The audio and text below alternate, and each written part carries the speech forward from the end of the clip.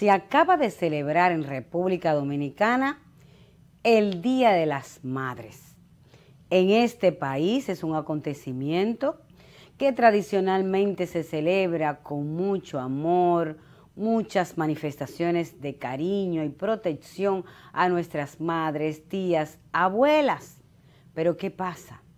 El mundo ya está evolucionando y en este momento, 2022, las madres son mucho más que un avance de protección y de seguridad familiar.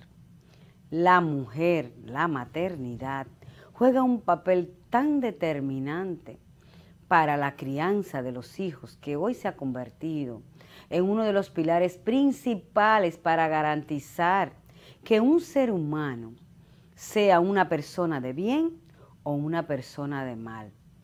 ¿Y qué pasa? Hay muchas madres a destiempo. Tenemos una serie de jóvenes que no están preparadas para ser madres y están trayendo niños al mundo que no están preparados para lo que van a encontrar en la humanidad. Y los resultados, entonces, la sociedad tiene que recoger esos platos.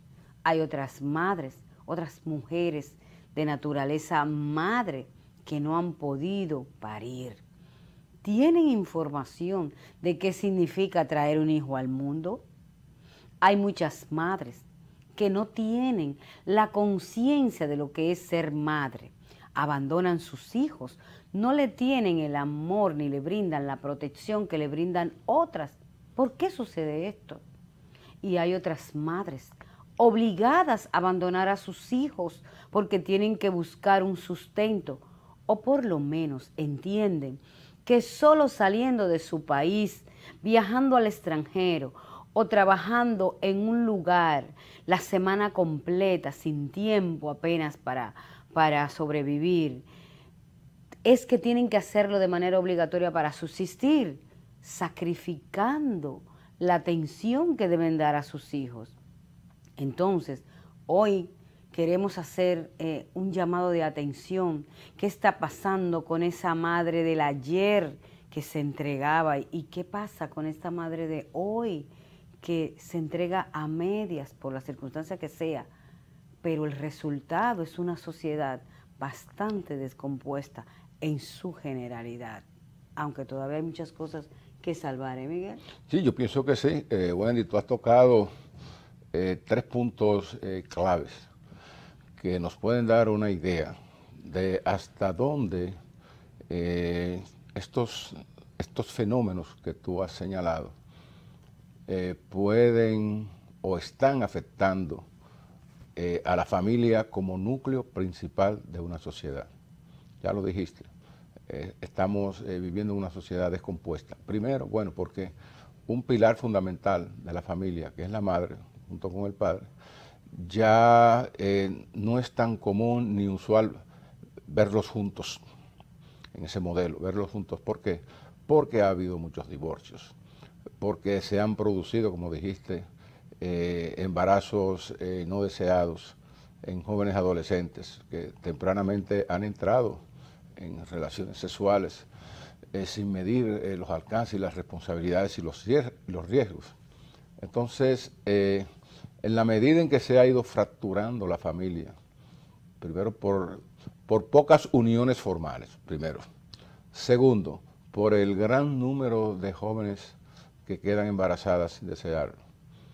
Tercero, por una tendencia hacia la aceptación del aborto como eh, la, vía para resolver eh, un problema inesperado o un embarazo indeseado, que entraña eh, en el fondo un desprecio por la vida. Ese factor del amor del que tú hablabas, que ha ido desapareciendo. No solamente eh, se produce en términos individuales, sino también colectivos. Se siente eh, una falta de correspondencia amorosa, fraternal, entre, vamos a llamarla así, padres, unidos o no, frente a sus hijos y viceversa. Entonces, eh, no hay duda de que otro factor que entra en juego y que hay que considerarlo también como parte de, de la nueva de, la nueva realidad de la familia en la República Dominicana es el hecho de que la madre soltera, fundamentalmente, ya no depende de un varón proveedor, el macho proveedor, tiene que buscar trabajo y tiene que eh, necesariamente, en aras de conseguir el ingreso, abandonar a sus hijos.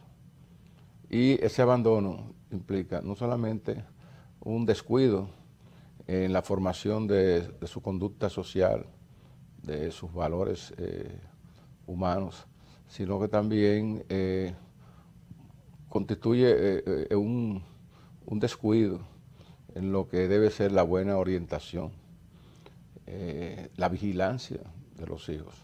Entonces también estamos viviendo en un mundo en el que la tecnología está al alcance de todos y los niños, eh, los hijos de esas madres que se van a trabajar, que los dejan solos en las casas, no solamente se exponen a, peligros como una violación sexual, sino que también se exponen a un torrente de formación visual de carácter pornográfico o de otra naturaleza que, o sea, que los hace eh, eh, eh, involucrarse en, direcciones incorrectas de vida. Entonces, el, es complejo ahora en este momento, o sea, ejercer un oficio impecable de madre, o sea, en todo lo que eso eh, significa. La responsabilidad de alimentar a los niños, educarlos, cuidarlos, vestirlos, acompañarlos, enseñarles valores y cosas. Entonces, todas esas piezas se han, desencajado, ¿no? no están encajadas esas piezas, Wendy. Entonces, todo esto está eh, eh, llevando a la sombra a una sociedad que ve a niños pequeños metidos en la delincuencia, metidos en el consumo de las drogas, y, más que eso, como que, como que no, no, se, no, no, se le ve como un propósito de futuro, de, o sea, como de de encaminarse. por venir, sí. Mira, eh, eh, eh, realmente esta es una, una, buena etapa, un buen tiempo para recapitular lo que es el papel de las madres. La madre moderna, esa que vemos en la revista muy sonriente con sus hijos, modelando. Por ejemplo, las tiendas, cuando van a vender, cuando van a hacer sus anuncios comerciales de, de ofertas para las madres, generalmente ponen madres felices con sus hijos pequeños, compartiendo el lado positivo de la maternidad. Y ponen señoras que todavía se ven muy bien, que no tienen que estar abandonadas, con ánimo, para ayudar en la crianza de sus hijos a sus hijos, o sea, esas abuelas. Y esa imagen que también vemos en las revistas y los diarios y en muchos medios de comunicación, cuando se va a entrevistar una madre, se busca una madre modelo una madre que se ve feliz hacia, hacia la pantalla, ¿verdad? Entonces es una madre modelo, muy bien, aplausos. Es una madre modelo, es la madre perfecta que estamos mostrándole a la sociedad. Miren, lo ideal es una madre con todos sus niños ahí como una gallina con pollitos. Bien, pero ¿qué estamos haciendo para que eso sea así en la generalidad? Por suerte, las familias que son eh, que están claras en su posición y que han sido educados para, para prestarle la atención debida a los hijos, están bien, eso es lo que muestran. Y hacen un esfuerzo extraordinario por mantener la unidad, por, por sobrellevar todas las etapas del niño desde pequeño hasta, hasta su momento de rebeldía en la adolescencia y el difícil momento de la juventud primaria, cuando salen de la adolescencia y van a pasar a ser adultos, esos momentos tan difíciles entre 18 y 25 años. Muchas familias están preparadas y lo asumen y lo acompañan a los hijos, pero son los menos Lamentablemente, las familias ordenadas, educadas, ejemplares, son menos. Y la mayoría de la población dominicana, lamentablemente, hay disfunción, sea a nivel, a nivel bajo o a nivel medio. Muchos profesionales están casi al mismo nivel de, de otros que están más bajo por el tema de que tienen un divorcio, de que tienen un hijo en una casa, otro en otra, y que no pueden brindarle la atención. También existe el problema de las, las relaciones entre los padres divorciados, que afecta mucho a los hijos.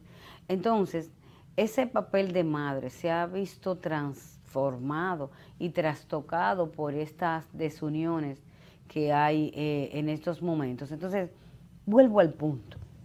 ¿Qué estamos haciendo para mejorar? ¿Qué estamos haciendo para garantizar que esos jóvenes y niños del futuro sean personas con una mente saludable? Sean personas que no les haga falta la teta, así mismo como se escucha, porque en el lenguaje campesino y coloquial se dice que el niño que es amamantado se siente seguro, va a una sociedad seguro de que, de que va a encontrar lo que sea y, tiene fortaleza, tiene protección. Entonces ese niño que ha estado en los brazos de una madre y ha sido amamantado, se garantiza psicológicamente que va a ser una persona con mejores pensamientos y mejores acciones para el porvenir. Entonces, en este país, las entidades que tienen que ver con la seguridad trabajan proyectos de prevención y, proyectos para, para aplacar una delincuencia, un comportamiento rebelde, esos suicidios de jóvenes temprano, hasta de niños inclusive, pero no nos estamos enfocando en la madre. Siempre hemos hablado, Miguel, de que en las maternidades, inclusive en las iglesias, debe prepararse a la mujer joven para ser madre, para que esté consciente de qué es traer un, una persona al mundo. hay, que, ver si van a las escuelas y a las iglesias, porque no van. Bueno, no van, pero... pero si son los centros de formación, no, yo te Hay que procurar que tengan una formación antes de traer el niño al mundo y dura, para que durante todo ese proceso tengan una formación y sepan cómo criarlo, porque ese es el futuro, Miguel. Mientras más niños eh, desordenados tengamos, pues vamos a tener una sociedad peor. Entonces, madre, vas a tener un hijo, garantízale a la sociedad que va a ser una persona productiva, que va a ser un ente que, que va a aportar. Y esto es una gran responsabilidad que tenemos las mujeres. Sí, y sobre todo, bueno, es una labor eh, inexorable que hay que emprender porque eh, hay que tomar en cuenta que eh, muchos de esos embarazos no deseados se dan en jóvenes que ni siquiera tienen, tienen madurez ni educación. Entonces, si, no, si ellas mismas no tienen valores, no han sido formadas, no tienen una idea clara de sus responsabilidades en la sociedad y frente a su, a su, a a su progenie, entonces no, esa persona está incapacitada para educar a ese niño que va luego a dar tumbos en la sociedad a hacer lo que le venga en ganas. Y ahí se produce una cadena de consecuencias que va cada día degradando eh, la relación maternal, paternal con los hijos. Ese es un gran problema de la sociedad. Claro, mucha gente que no lo siente ahí en directo, no se está dando cuenta de, la dimensión. Pero cuando uno examina y ve tantos casos eh, insólitos de madres jóvenes que, matan a sus hijos, ya no lo matan en el vientre, sino ya porque le molesta el muchacho, le reclama mucho. Eh, son cosas horrorosas. los, crímenes que se producen, infanticidios eh, por sus propias madres, y también los casos de, eh, violaciones, de pedofilia, que, eh, que traumatizan. Entonces una generación que está surgiendo con muchos traumas. es un problema muy serio. Ese es el tema, ese es el tema que la sociedad tiene que vigilar y asegurar que la mujer que trae un niño al mundo garantice que será una persona sana, de mente principalmente, que no vaya a hacer daño a la sociedad, y que esa madre sepa con responsabilidad que su obligación es hacer que la sociedad del futuro sea mucho mejor que la de ahora en recompensa a la vida que a ella misma le han dado. Seguimos con más aquí, entre periodistas. Entre periodistas